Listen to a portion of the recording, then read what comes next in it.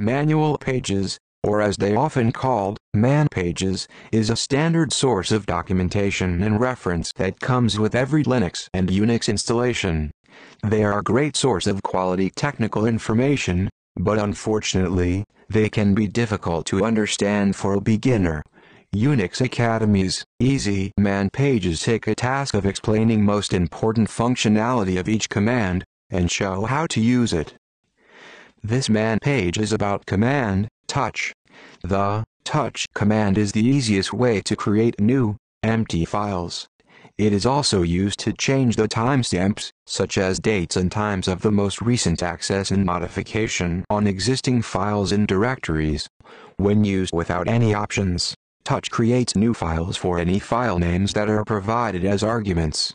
Touch can create any number of files simultaneously. A nice feature of Touch is that, in contrast to some commands such as cp and mv, it does not automatically overwrite existing files with the same name. Each command features many options and variety of uses.